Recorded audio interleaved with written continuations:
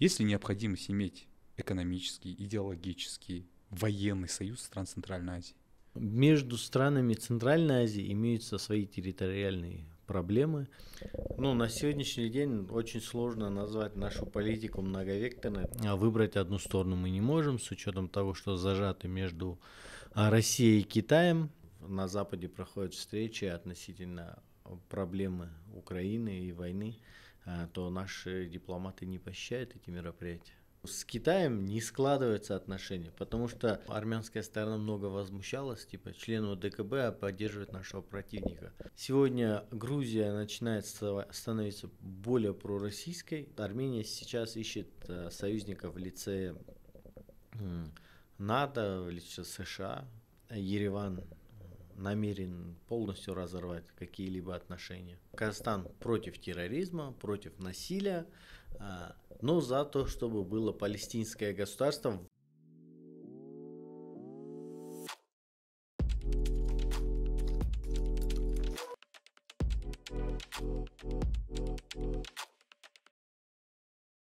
Ислам, как считаете, вообще сегодня многовекторная внешняя политика Казахстана, в чем ее главная суть вообще?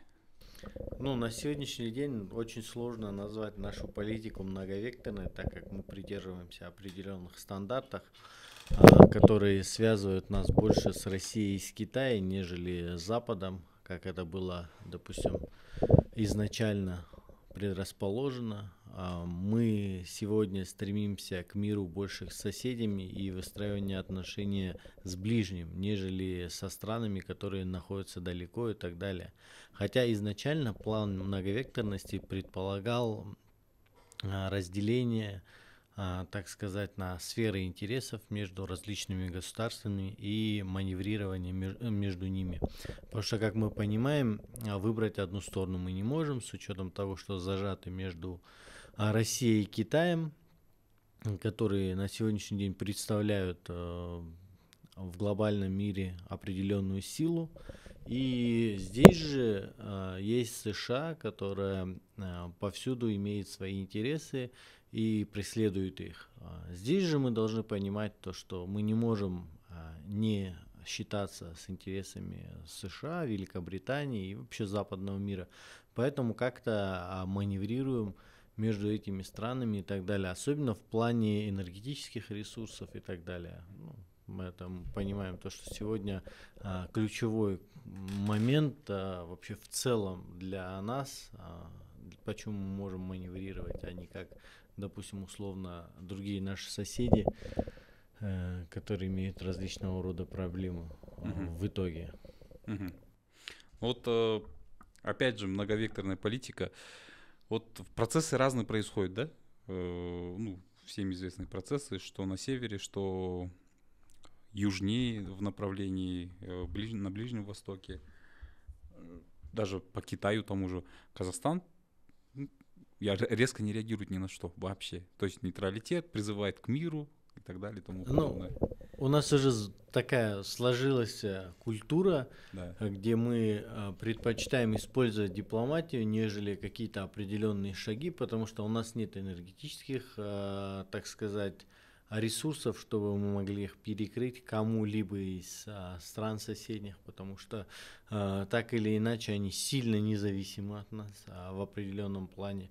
А нет у нас а, а, экономических возможностей каких-либо, чтобы ввести санкции и так далее. Нет а, рычагов в политическом плане, нет возможности давить силой и так далее. То есть да, мы развиваемся потихоньку и так далее, но нету той силы, которая могла бы надавить на, допустим, образно говоря, на больших гигантов, э, которые там имеют э, значительного рода силу, и для них, в принципе, без разницы, есть мы или нету. Поэтому это мы можем там с соседями что-то, там, с более мелкими странами, которые в, ну, относительно Казахстана а можем как-то соперничать и так далее, конкурировать, э, где-то закрывать границы, но с более сильным игроком а, подобного рода процессы не прокатывают.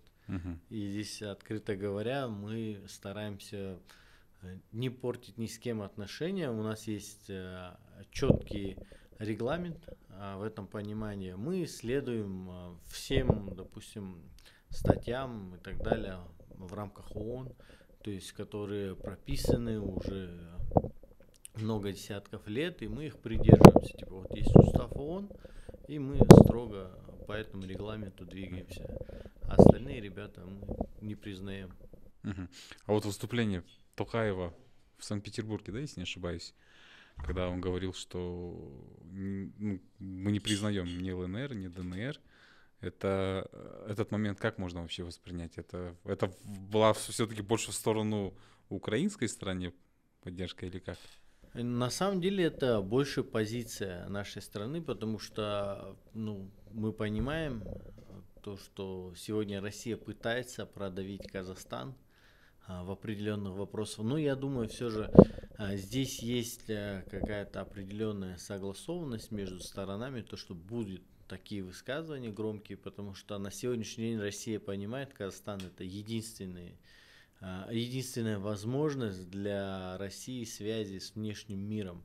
Угу. Потому что, как мы понимаем, сегодня все, все входы-выходы ведут в Казахстан для России. И а, вот, допустим, даже элементарный пример строительства различного рода складов на территории Казахстана, которые в итоге от, ну, приходят с Китая эшелоны целые, загружаются, а после с Казахстана стартуют в России. Да, это на Западе говорит обход санкций, но как бы со стороны Китая нет никаких санкций в отношении России, поэтому это работает. Uh-huh. Это, может, многие люди не замечают, но если выехать за черту Алматы и посетить индустриальную зону, особенно в частные секторы, начали активно а, заниматься подобного рода вещами. И общаясь с коллегами даже в той же России, можно понимать то, что там сейчас а, в этом плане достаточно худо, поэтому все, э, так сказать, свои э, всю локализацию Россия ведет здесь, и относительно этого мы понимаем то, что э, бизнес живет за счет того, что есть Казахстан, российский бизнес. Здесь же мы должны понимать э, ключевую роль э, вот подобного рода политических высказываний. Да, есть моменты не только активно, когда мы высказываемся э, там, в Санкт-Петербурге, э, на русской земле, как принято говорить у них. И есть другой момент, когда э, на Западе проходят встречи относительно проблемы Украины и войны, э, то наши дипломаты не посещают эти мероприятия. Угу. То есть есть вот обратная сторона медали, которая возмущает общество где-то в какой-то степени. Но это тоже понять можно действия нашего правительства а, и нашей дипломатии, потому что а, тоже открыто поддерживать одну из сторон будет ну, напрягать другую. Поэтому здесь нужно как-то балансировать. Иногда ну, давить, а иногда наоборот ослаблять. Да, но есть момент, когда мы, я вообще сам, я так понимаю, что сейчас мы напрягаем обе стороны. Мы Россию мы напрягаем, потому что мы открыто ее не поддерживаем. Зеленский тоже вот недавно начал собирать журналистов с Центральной Азии, также начал месседжи кидать, почему Украину открыто правительство не поддерживает.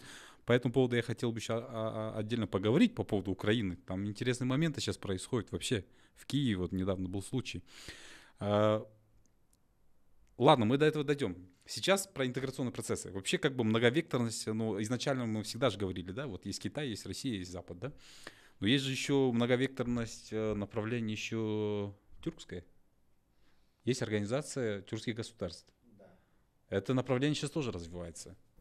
Ну, очень вообще интересный момент относительно а, вообще в целом развития дипломатии нашей страны. Да. Как мы понимаем, до определенного времени многовекторность, а, почему я сказал изначально то, что сейчас ее нету, как относительно вопроса, потому что сначала где-то 2010, вот ближе к 2014 году у нас начинается вот эта интеграция с Россией, создание Евразийского союза, там ЕАЭС и так далее. То есть мы движемся в эту сторону. Но когда случаются события с Крымом связанные, у нас уже отношения немного портятся, и мы понимаем то, что Россия в ближайшее время а, на, ну, начнет стагнация экономики и так далее. Здесь развития нету. А, в этот же период начинает активно развивать свои а, международные проекты Китай. Там один пояс, один путь, различного рода инвестиции в Казахстан, то есть логистика, потом сухой порт, там Харгос развивать. То есть, в принципе, направления, которые Китай нам дает возможности, они большие. И здесь же с 2016 года полностью меняется вектор в сторону Китая. Но, как мы понимаем, Китай это у них а, мышление немного другого уровня. Да. То есть а, сама философия другая. Да, философия другая. У них нету понимания, допустим, как у нас там где-то чуть сократить, где-то поднажать и так далее. То есть у них а, есть четкий план, которого они придерживаются и а, выполняют. В нашем же случае мы где-то можем зажать, где-то сэкономить и так далее, и подождет. А, в данном случае мы понимаем то, что с Китаем не складываются отношения, потому что а, работа идет в одну сторону. Идут китайские товары в одну сторону, они там разгружаются, а идут вначале оттуда пустые. Угу. То есть и как бы от, мы получаем только маржу с логистики, но нет у нас сырьевой базы поставлять Китай. На сегодняшний день есть проблема э, китайской э, продовольственной безопасности, то есть э, питание и так далее, как мы понимаем, подразумевается. И есть дефицит а, зерновых культур и так далее. Но почему-то мы не используем этот факт на сегодняшний день. И множество раз уже на различных э, мероприятиях, собраниях, там, аналитических записках и так далее, я уже неоднократно писал, развивайте сельское хозяйство. В принципе, потенциал огромный. Ну, желающих тоже море. Но почему нельзя инвестировать в это? Даже не надо самим делать. Тех же китайцев, э, допустим, приглашаешь, не надо им отдавать земли, не надо им давать приезжать толпой там и так далее. Просто одного управляющего ставишь, и он ставит весь бизнес-проект. И фактически мы можем отгружать эти зерновые культуры и так далее и поставлять в Китай. А на этом очень хорошо зарабатывать на сегодняшний день. Ну, как мы понимаем, то есть у нас не сходство философии и так далее, а различного рода проблемы. После, почему мы сейчас говорим, типа, закрыли Тура, возрождение, там, тюркской идентичности и так далее. Здесь уже а, немного другое понимание вещей. Раньше мы не могли это сделать, потому что было а, мы не могли говорить о величии тюрков или величии там а, предков степи, там, ну, там у нас много различного рода упоминаний, по той простой причине, то, что одно из тюркских государств имело территориальные проблемы соседом. То есть Армения в свое время отжала часть Азербайджана, и это было пощечина всему тюркскому миру. И вот когда решился вопрос, о, о, связанный с территориальной целостностью Азербайджана, то есть возвращение Карабаха э, в исконные владения Азербайджана, тогда э, встал вопрос о, так сказать, возвращении, возрождении тюркского мира. И это стало как, какой-то надеждой. То есть маленькая Армения а, могла контролировать э, достаточно большое тюркское государство в лице Азербайджана. То есть, и это было пощечиной. Плюс это же еще кость в горле вообще всего тюркского да, там сухопутных ту... дорог. Да, тем более это же, мы понимаем то, что Турция вторая э, армия НАТО, да, там по численности военных э, сухопутная в Европе, чуть ли не первая. И, и тут э, там братский Азербайджан, у него проблемы, и никто решить не может. И сегодня показывает то, что решение карабахского вопроса открывает новые возможности. То есть Почему нам это интересно? Потому что это открывает э, дополнительные логистические перспективы для нашей страны. А сегодня ведется обсуждение между Азербайджаном и Арменией, и плюс ко всему участвует Турция как посредник относительно открытия Зангизунского коридора. На сегодняшний день это огромная перспектива транспортная, логистическая, то есть мы не будем подвязаны к России. Для сегодняшний день это перспектива. Ну, по крайней мере, альтернативные дороги. Да, альтернативно. Вот сегодня у нас очень э, активно говорят про тему, связанную с, э, с нефтепроводом э, Баку-Тбилиси-Джейхан. Типа, вот это круто, мы можем какие-то объемы поставлять. И так как 70% проходит через КТК, там, по-моему, даже если не больше, Э, ну, это основной поток, э, через который мы транспортируем нефть э, в Европу. И здесь у нас альтернатива. Ну, надо понимать то, что а, БТД, ну, так сокращенно называют транспортный путь нефтяной, он не предполагает транспортировку качественной нефти, и его возможности очень такие минимальные. Ну, как альтернатива он у нас есть. То есть, если нам будет интересно, мы можем инвестировать э, в подобного рода проекты. То есть, есть уже а, ну, такая ветка рабочая. То есть, если захотим, то можем и здесь uh-huh. поработать. Поэтому нам э, важна вот эта связь э, с тюркскими государствами. То есть, у нас есть э, общие точки соприкосновения. Это общая история, э, э, языки похожие, там, ну, принципе, мы можем много э, вещей перечислить, которые нас объединяют. Э, там, допустим, турки говорят то, что Казахстан это их родина, в принципе, Атаюрт они называют Туркестан, отсюда вышли, туда пришли. То есть, э, ну, в принципе, точек соприкосновения достаточно, чтобы говорить о том, что у нас есть что-то, что позволит нам сотрудничать бескорыстно, так сказать. Ну, как мы понимаем, политика предполагает в целом корыстные интересы, выгоды и так далее. Поэтому, да. поэтому братские узы, они до поры до времени тоже в каких-то моментах. Вот вот здесь вы только что упоминали Карабахский кризис, когда вот конфликт буквально вот несколько лет назад решился. Uh, опять же, с одной стороны, братский тюркский народ Азербайджан для казахов, ну, для казахстанцев, так скажем, да, а с другой стороны, э, член УДКБ Армения, военный союз, где Казахстан тоже обязан вроде бы вступать в какие-то... Ну, понятное дело, там не было э, наступления на территории Азербай... А, Армении. Это все-таки спорная территория же была. Э, опять же, нейтралитет – то есть я явного, то есть в одну сторону, опять же, позиции Казахстана не было. Нет, да, здесь, допустим, достаточно четкая позиция была Казахстана в том, что мы поддерживали, в принципе, действия Азербайджана. Мы не поддерживали насильственный э, вариант решения ситуации, то есть это военный. Э, но мы в целом поддерживали э, ситуацию, связанную с э, действиями вокруг Нагорного Карабаха. Ну, Нагорный Карабах это оскорбительно для Азербайджана. Карабах. Карабаха. Карабах. Да. Карабаха, поэтому здесь, думаю, вопросов не было, поэтому армянская сторона много возмущалась, типа члены ДКБ поддерживают нашего противника.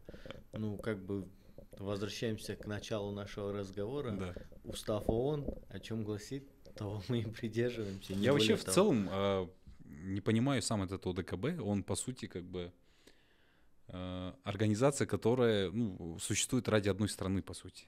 И то только для того, чтобы легитимно вступить в территории э, на эти государства, которые там члены. Только ради этого, по-моему. Ну, еще есть один э, под, э, такой момент э, существования для того, чтобы сбыть свою военную технику. Да, продавать куда-то ее, да, чтобы и иметь единый какой-то да, конгломерат. А, понятное дело, по тюркскому моменту, вообще, как, как вообще считаете, вот исходя из вот этих моментов, вообще у ДКБ у нее есть какие-то да, перспективы развития? Или все-таки вот сейчас вроде бы Россия как бы в состоянии как бы конфликта уже на протяжении больше двух лет, но у ДКБ как бы вот он как бы есть и как бы нет. Ну, да, в принципе, Россия это сама агрессор в данном случае выступает. Поэтому а, пока нет необходимости вступления остальных членов ОДКБ в какие-то либо военные действия.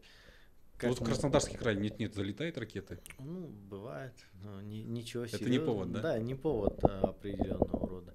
А мы должны понимать то, что и Армения сегодня заявляет о том, что Хочет выйти. желает выйти из Союза. И сразу пошли волнения против Пашиняна. Да, ну, здесь есть очень интересный момент, связанный с Арменией и вообще Южным Кавказом. Сегодня Грузия начинает становиться более пророссийской э, в плане политического режима. А, зашли разговоры о возвращении Южной Осетии Абхазии, э, Грузии. И это ведутся даже в, в кулуарах российских там, чиновников и так далее. Ну и открыто выступают э, многие эксперты и так далее. То есть есть интерес между ними. Угу. А, скорее всего, это продиктовано отходом России, ну, точнее, отходом Армении от России. Армения сейчас ищет э, союзников в лице НАТО, в лице США, какие-то альтернативы для себя. Активно поддерживает Франция Армению. И думаю, здесь э, Ереван намерен полностью разорвать какие-либо отношения. Мне кажется, там все закончится тем, что придет новый премьер-министр, и там все, все успокоятся. Ну да, на самом деле вот э, сегодня... Все идет к тому сейчас просто. Да, просто многие считают, э, вообще я даже со стороны считаю, а Пашинян это для Армении, это, блин, ну, в сравнении как Ататюрк для Турции, он, по сути, решил проблему. Карабах был проблемой для Армении.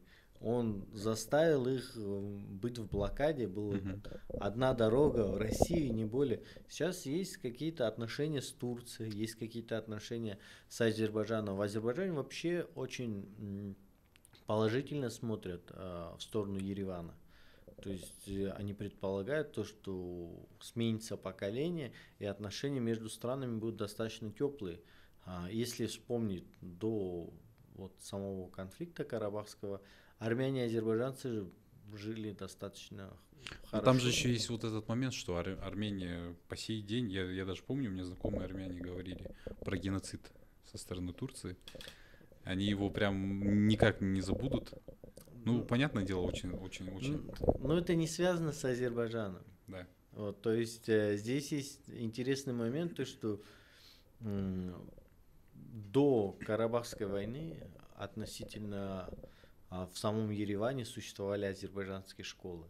И там жили азербайджанцы. Это, это было нормально. А не как сейчас это типа, что-то из мира фантастики. Да. Вот, и э, можно встретить э, достаточное количество курдов э, э, или азербайджанцев, проживающих на территории Казахстана, которые как раз-таки приехали где-то в 89 году в Казахстан э, после вот, э, стычек в самом Ереване на, на волне вот этого карабахского конфликта. Они все там учились на азербайджанском языке, как правило. И для них не было проблем. Сейчас э, Армения моно, моноэтническая страна в большинстве случаев. Там Больше прожив... 90% там армяне Да, проживают. там, по-моему, проживают еще езиды и немного русские. Все, mm больше, по-моему, других этнических. Азербайджан, в принципе, тоже моно моноэтничная страна. Э, не сказал бы. В Армении, э, в Азербайджане, по-моему, живет около 7 тысяч армян. mm По некоторым данным. А население чуть больше 10 миллионов, да? Ну, по-моему, 8. А, уже 8 стало? В Армении, по-моему, 8. Не, не, не, а в Азербайджане 8 и было. А, 8 и было, да? Да. Ну, я сейчас что-то перепутал, значит. Э, спустимся чуть юго, юго-западней. Давайте. Я, я еще один момент хотел по поводу вот геополитики. Опять же, Израиль-палестинский конфликт. А, здесь также Казахстан четкую свою позицию не сказал. Он призывает к миру, как обычно. Но, но, но с одной стороны, вроде бы братья-мусульмане, ну как братья-мусульмане, ну, большинство-то мусульмане в Казахстане, и общество тоже как бы очень сильно так поддерживает, да, со стороны Палестины. Понятное дело, сколько детей, сколько женщин умирают, там людей сколько умерло. Но тем не менее, все равно вот официальной э, как такой как бы позиции либо в этой, либо на другой стороне не было. Ну, а здесь есть а, такая грань понимания, то, что Казахстан против терроризма, против насилия, а, но за то, чтобы было палестинское государство в, в рамках а, границ, по-моему, 67 -го года, если не ошибаюсь. А, и Казахстан призывает к созданию палестинского государства а, со столицей в Восточном Иерусалиме. То есть По сути, это такая очень сложная, сложный механизм на сегодняшний день. То есть наша позиция ясна, но в то же время э, мы активно, допустим, не призываем, как это делают в Турции, да? А мы даже более четкие, чем там э, вот те же арабы в Эмиратах э, или в Саудии, которые э, чаще всего больше молчат, нежели говорят. Поэтому наша позиция, нам задали вопрос, мы на него ответили, и на этом все. Вопрос, э, мы сейчас говорим, если глобально про Палестину или Газа. Газа, конечно же, разрушена, и восстанавливать ее придется самому Израилю, а не палестинцам, которые оттуда бежали. Газа и так на сегодняшний день был, была как трущобы. А, и там сложные экономические, а, экономические моменты были, а, там даже был дефицит электроэнергии, поставки интернета, и, ну, то есть своих проблем было много. И сегодня то, что делает Израиль, это, безусловно, геноцид. Угу. Ну, открыто говоря, убийство людей, которых, э, ну, у которых нет оружия, сопротивляться и так далее. Да, мы понимаем, есть э, Хамас, который большинством стран признан террористическим, э, террористической организацией, но есть обратная сторона, когда ты бомбишь э, лагерь с беженцами, это уже непростительно угу. на сегодняшний день ну, в, в лице мирового сообщества. Тут, э, когда две страны сталкиваются в военном конфликте, люди от, выбирают между сторонами. А здесь, когда прямой, прямой удар по беженцам и так далее, которых а, как раз-таки сам Израиль а, попросил идти на юг, а в итоге нанес по ним же удар. Ну, да. пони, понимание дела, понимаем же мы то, что сегодня Израиль делает то, чтобы сократить э, численность э, палестинцев, а, сломить их а, боевой дух и так далее, потому что мы видели много случаев, где даже инвалиды э, при каких-то массовых столкновениях бегут на фронт и так далее. Ну, понятное дело, они борются за свою независимость. Можно, кто-то назовет это терроризмом, а кто-то скажет, это борьба за самоопределение. Угу. Ну, это как можно а, сравнить, э, допустим, если советские учебники, действия Кенисары Хана, это были как раз таки... Тоже террорист. Да, террорист по тем временам восстания. А... Сыром Датула тоже, да. Это, ну, примеров много, но это, допустим, самый яркий, которого все знают. Да. На сегодняшний день он герой для нас. Ну, конечно, да, это было восстание. Восстание, освободительное, да, освободительное движение. движение, да. Я вот, вот по этому поводу и хотел сейчас вот э, следующий вопрос задать. Вообще, последние годы я очень часто начал замечать, что нашу страну хотят вот так или иначе втянуть в конфликт. Особенно вот в конфликт, который связан с Украиной и Россией. Как начинается, э, вот президент Токаев встречается с, с представителями из Запада с кем-то, все, начинаются приветы в сторону Казахстана, там вот, там Северный Казахстан наш, там общественники, депутаты там, или там их там в Петропавловске кого-то притесняют там, или еще что-то. Потом то же самое происходит, кстати, со стороны Украины тоже. Когда наши начинают официальные лица там, посещать там, Москву там, и так далее, начинаются нападки со стороны Украины. Вообще я хотел бы здесь одну исторический такой факт как бы подметить, да? Казахи последний раз откровенно участвовали в войне ну, почти 300 лет назад. Это вот когда вот Джунгарская война была. Ну, понятное дело, после него там, да, мы стали там частью Российской империи, мы были там политическим субъектом, да, э, точнее, мы не были политическим субъектом, а всего лишь объектом, у нас не было внешней политики.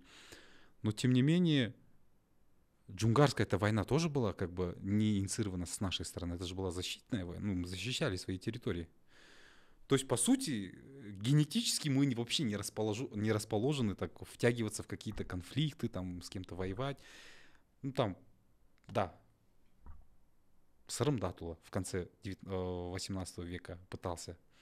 Дальше там Кинисары пытался. Там. Потом помним Жанкужа Мухамедов, как кантаровцы тоже, они пошли на юг освобождать э, южные регионы от Кукана и там э, Хивы, мы-то не расположены генетически вообще, конф... поэтому, наверное, вот эта вот многовекторность у нас лежит, вот эта вот нейтральность, да, когда вот идет конфликт, мы, нет, ребят, давайте, успокойтесь, хватит, мы не на вашей стороне, мы не на вашей стороне. Максимум мы воевали друг с другом. Да, Да, максимум, за, да. за единство государства, и не более того. И не более того, да, кстати, да. Вот, эм, один из моментов, который я вот сейчас э, для себя э, подчеркнул, ситуация связана вот с журналистом Айдосом э, Садыковым, э, журналист Басе. Выстрел, там произошел в него покушение, да. Опять же, ну, ничего не показали, сказали, что вот был выстрел в Айдоса э, Садыкова. Я очень надеюсь, что с ним сейчас все хорошо. Э, По крайней мере, мы пожелаем, чтобы он поскорее э, оправился, выздоровел. Опять же, нет каких-то вот непонятно, вот все смутно. Нету вот ни фотографий, ни Айдоса не показали. Он в больнице лежит, говорит, его не показали. Ни, по-моему, наши даже посла туда еще не пустили, да, в больницу, чтобы он мог проведать его, посмотреть. Вот непонятная ситуация происходит в Украине. Вообще непонятно. Лично для меня точно. Ну, мы должны понимать, на Украине сегодня идет война. Да. И и военное положение в стране. Сегодня контролировать какие-либо процессы в стране достаточно сложно. При том, чтобы надо отдать должное, страна держится и а, как-то пытается а, сохранить вот эту целостность э, и работу всех структур.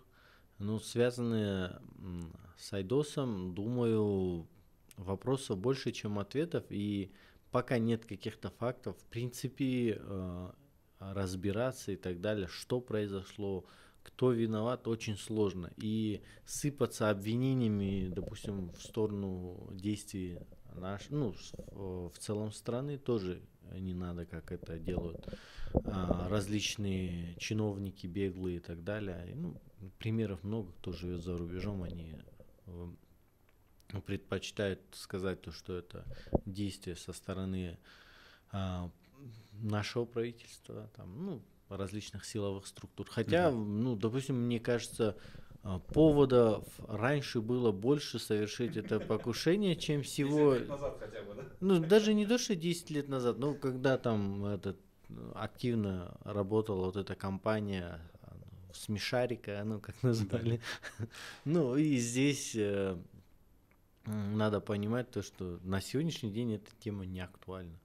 Ну, ш- ну, я просто не понимаю.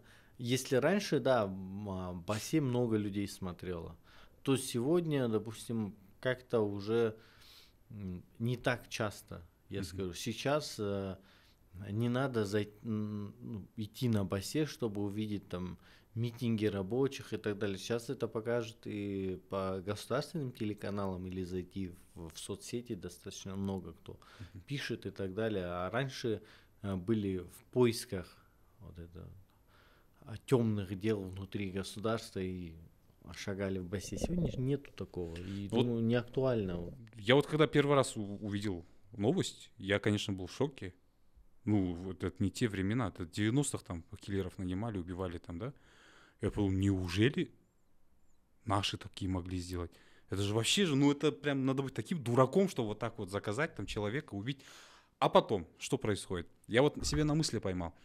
Во-первых, э, как-то странно все.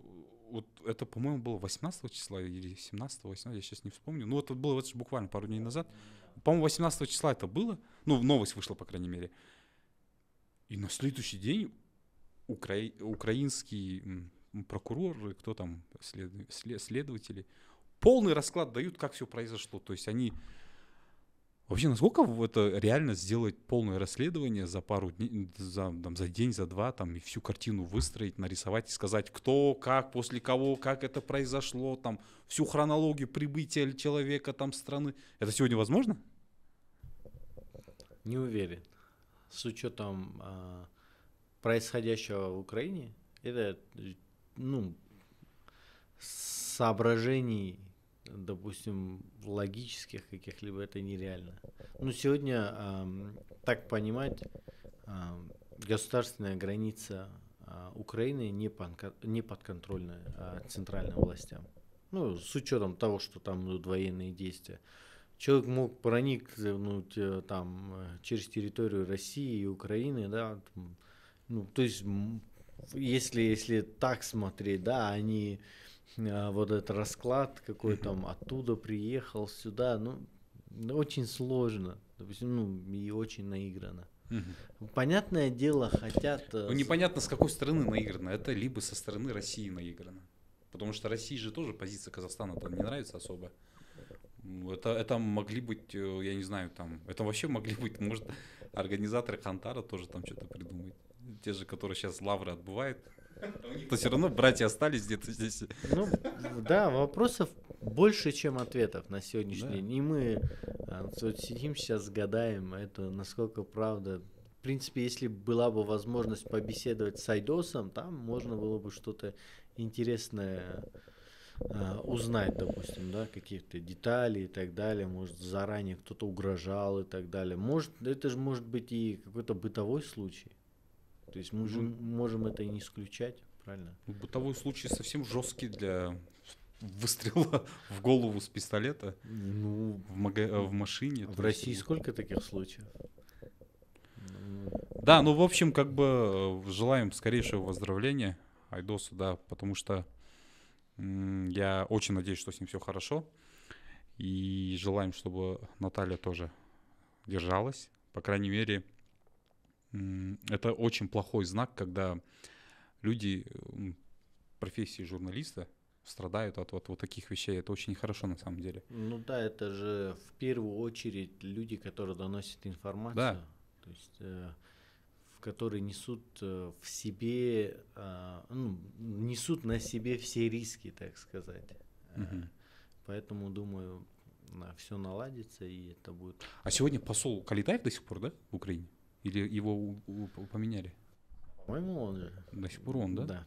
Но мы сейчас насколько я понимаю, отношения с Украиной в каком-то замороженном состоянии. Поэтому мы не видим а, частые упоминания посла или каких-либо ответов со стороны МИД относительно этого вопроса. У нас просто эта тематика игнорируется в какой-то mm-hmm. степени. Ну, нет а, сегодня, ну вот реально каких-либо отношений. Даже если смотреть на каком-то бытовом уровне на сегодняшний день э, на рынок Казахстана нет, ну, не поступает продукция из Украины. Чем связано, возможно, а, с войной, то, что... Ну, это однозначно. Логистически... Может, они сами себя не могут обеспечить. Ну, да, ну, есть же э, другие производства, которые в принципе работают в широкую. Думаю, просто то, что России, ну, границы нету. Как ну, такого, сейчас, да, да, тяжелая граница. Сейчас это в Украине как надо пойти, чтобы... Чтобы через, сюда, да, ну, невыгодно просто. Через Черное море, ну, это опять же, да, через Грузию там. Там дороже обойдется, чем привезти с Америки. Да. Ну, э, момент такой теперь. Вот есть моменты, что страну хотят затянуть куда-то. Э, сегодня вообще как Казахстан, вот вы как политолог считаете, что нужно делать Казахстану? Вот, с учетом того, что на севере горит, на востоке горит, там с, э, с, Тай, с Тайванью, на юге там тоже у нас на юго-западе горит.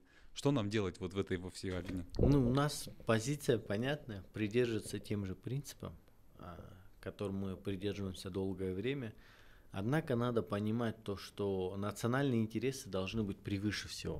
По, порой мы, э, так сказать, идем вопреки э, всем вообще правилам и где-то в убыток себе э, идем по интересам, ну, следуем интересам ближайших соседей и так далее. То есть для нас это убыточно. И концепция, которая долгое время проповедовалась нашей страной, а, связанная с тем, что прежде всего экономика, а потом политика, абсолютно неверная.